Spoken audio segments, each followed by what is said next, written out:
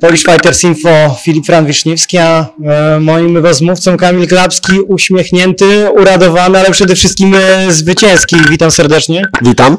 E, no, powiedz przede wszystkim, co to za uczucie, tak? Bo ten knockout wyglądał no, z perspektywy trzeciej osoby dosyć efektownie, ale i zarazem makabrycznie. Co ty czułeś w tamtym momencie?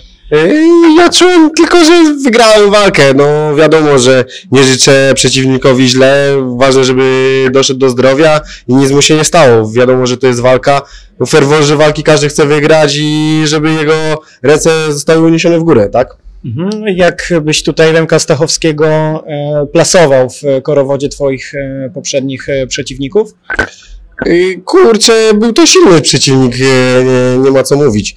Yy, Ma dobrą stójkę i parter, yy, też lubi się pobić, yy, nie, nie ucieka od tej wymiany.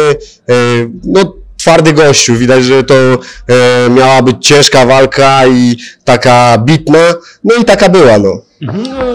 Mówisz, że walka bitna, to wiadomo, są też emocje, cały ferwor walki.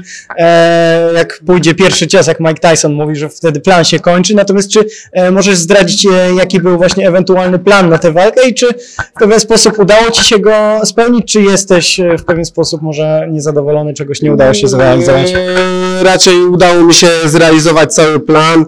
Eee, Plan wyglądał tak, żeby e, właśnie zdenerwować e, Remigiusza e, mocnym e, jakby wejściem w niego. Tak, e, od samego początku, a potem badać i chodzić na nogach i jak on e, będzie ruszał na mnie, to żeby go kontrować, no i to się udało. Dzięki Bogu. Mhm. W przeszłości na Stadion Śląski mawiano kocioł czarownic, ale ja odnoszę wrażenie, że dzisiaj tutaj w Żgowie twoi kibice zgotowali twojemu rywalowi absolutny kocioł czarownic. Czy ty się spodziewałeś, że tutaj taka rzesza za tobą będzie podążać? Tak, wiedziałem, że tutaj dużo kibiców ode mnie przyjedzie. E, Jest to niedaleko e, miejscowości, gdzie mieszkam, więc e, rzesza fanów przyjechała, więc dziękuję im za to, że, że byli i mnie gorąco dopingowali, bo to bardzo pomogło. Dziękuję wam.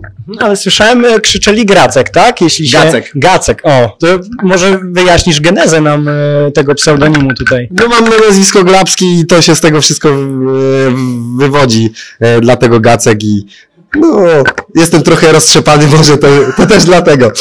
No, w klatce nie byłeś e, roztrzepany, tym niemniej e, dziękuję Ci za dzisiejszy wywiad i oczywiście ważny dla Was e, element, czy masz ochotę kogoś tutaj wyróżnić, podziękować, bo na pewno są osoby, które dołożyły cegiełkę do Twojego dzisiejszego zwycięstwa. Chciałbym dużo osób wymienić, ale jest ich tak dużo, więc dziękuję każdemu, wszystkim razem i może każdemu z osobna za to, że mi pomógł w przygotowaniach i każdy dołożył jakąś cegiełkę do tego, żebym mógł wygrać i tutaj wystąpić. Dziękuję wam wszyscy. Tyle dzisiaj, Kamil Grabski, dziękuję. Dziękuję.